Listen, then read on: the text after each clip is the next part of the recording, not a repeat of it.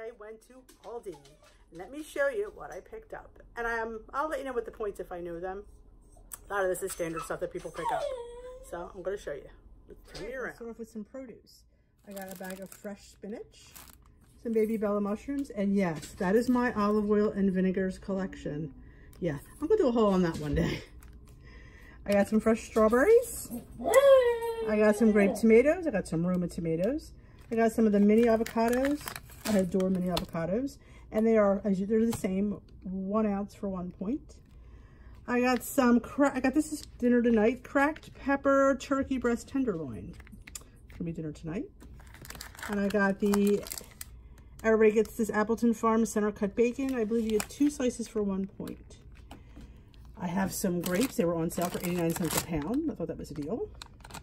I've never seen this there. This is the Too Good, two grams of sugar yogurt. They had strawberry and vanilla. They are two points each. I got one of each flavor.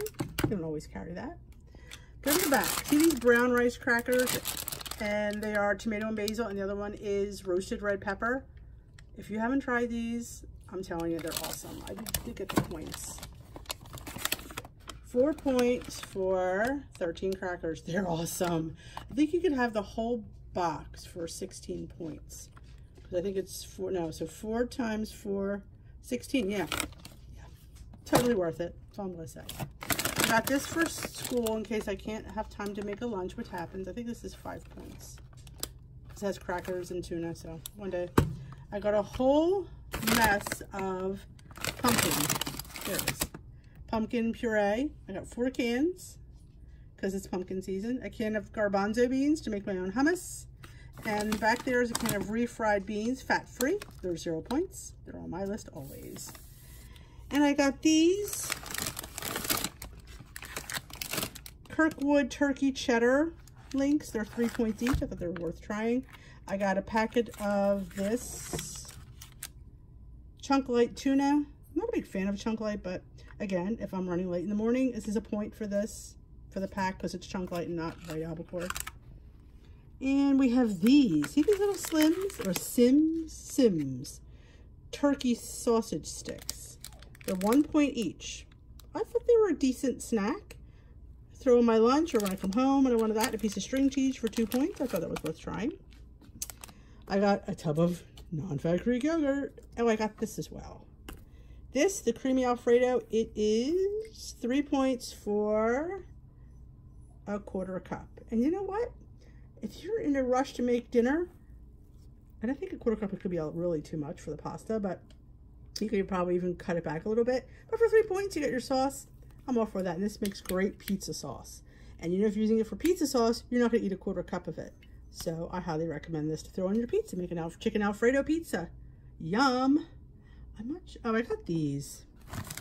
My husband, pancetta Parmesan kettle chips. Damage on these bad boys? Four points for 15 chips. That's not too bad. That's a standard, I think, for chips, but it was the sharp Parmesan and pancetta. Yeah, we'll over that. And I got a bag of the 647 white bread for one slice is one point. I do believe I covered everything. Yeah, four cans of pumpkin. Girl's not ashamed. I think that's everything.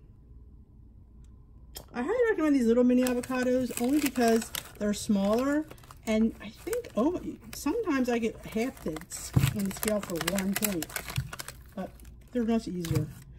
Other than that, I don't think there's anything else I missed. That's my haul, my small haul from Aldi everything was really a good price. But uh, I hope, let me know what you get at Aldi in the description box. And I'm going to come That was my little Aldi grocery haul.